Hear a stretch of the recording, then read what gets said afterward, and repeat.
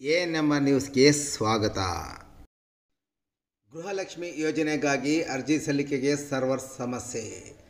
ಕಾಂಗ್ರೆಸ್ ಪಕ್ಷ ಚುನಾವಣೆಯ ಪ್ರಣಾಳಿಕೆಯಲ್ಲಿ ಘೋಷಣೆ ಮಾಡಿರುವಂತೆ ನಾಲ್ಕನೇ ಗ್ಯಾರಂಟಿಯಾದ ಮನೆ ಯಜಮಾನಿಗೆ ಮಾಸಿಕ ಎರಡು ಸಾವಿರ ರು ನೀಡುವ ಗೃಹಲಕ್ಷ್ಮಿ ಯೋಜನೆಗೆ ಚಾಲನೆ ನೀಡಿದ್ದು ಯೋಜನೆಯ ಪ್ರಯೋಜನ ಪಡೆಯಲು ಬಂದ ಮಹಿಳೆಯರಿಗೆ ಇದೀಗ ಸರ್ವ ಸಮಸ್ಯೆಯಿಂದ ಗಂಟೆ ಕಟ್ಟಲೆ ಚಿಂತಾಮಣಿಯಲ್ಲಿ ಕಾಯಬೇಕಾದ ಪರಿಸ್ಥಿತಿ ಒದಗಿ ಬಂದಿದೆ.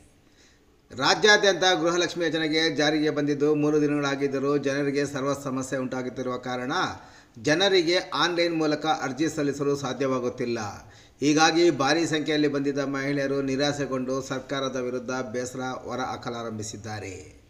ಕಾಂಗ್ರೆಸ್ ಪಕ್ಷ ತನ್ನ ಪ್ರಣಾಳಿಕೆಯಲ್ಲಿ ಘೋಷಿಸಿದ್ದ ಐದು ಗ್ಯಾರಂಟಿಗಳ ಪೈಕಿ ಈಗಾಗಲೇ ಮೂರು ಗ್ಯಾರಂಟಿಗಳು ಜಾರಿಯಲ್ಲಿದ್ದು, ಈಗ ನಾಲ್ಕನೇ ಗ್ಯಾರಂಟಿ ಮನೆ ಯಜಮಾನಿಗೆ ಮಾಸಿಕ ಎರಡು ಸಾವಿರ ನೀಡುವ ಗೃಹಲಕ್ಷ್ಮಿ ಯೋಜನೆಗೆ ಚಾಲನೆ ಸಿಕ್ಕಿದೆ. ಜಿಲ್ಲೆಯಲ್ಲಿ ಎರಡು ಪಾಯಿಂಟ್ ಎಂಟು ಐದು ಲಕ್ಷಕ್ಕೂ ಹೆಚ್ಚು ಮಂದಿ ಯಜಮಾನಿಗಳು ಈ ಯೋಜನೆಗೆ ಅರ್ಹರಿದ್ದಾರೆ ಎನ್ನಲಾಗಿದೆ. ಎಲ್ಲರಿಗೂ ಅರ್ಜಿ ಸಲ್ಲಿಸಲು ಅವಕಾಶ ಕಲ್ಪಿಸಲಾಗಿದ್ದು, ಆಗಸ್ಟ್ ಹದಿನೈದರ ನಂತರ ಕುಟುಂಬಗಳು ಯಜಮಾನಿಯರ ಬ್ಯಾಂಕ್ ಖಾತೆಗೆ ನೇರವಾಗಿ ಹಣ ಜಮೆಯಾಗಲಿದೆ.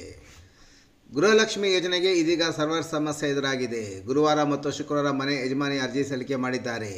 ಶನಿವಾರ, ಭಾನುವಾರ ರಜೆ ದಿನವಾಗಿರೋದ್ರಿಂದ ಸೋಮವಾರವಾದ ಇಂದು ಹೆಚ್ಚಿನ ಸಂಖ್ಯೆಯಲ್ಲಿ ಮಹಿಳೆಯರು ನೋಂದಣಿ ಕೇಂದ್ರಗಳ ಮುಂದೆ ಜಮಾವಣೆಯಾಗಿದ್ದು, ಸರ್ವರ್ ಸಮಸ್ಯೆಯಿಂದ ಅನಾವಶ್ಯಕವಾಗಿ ಸರ್ತಿ ಸಾಲಿನಲ್ಲಿ ನೋಂದಣಿ ಕೇಂದ್ರದ ಮುಂದೆ ಕಾಯಬೇಕಾದ ಪರಿಸ್ಥಿತಿ ಒದಗಿ ಬಂದಿದೆ.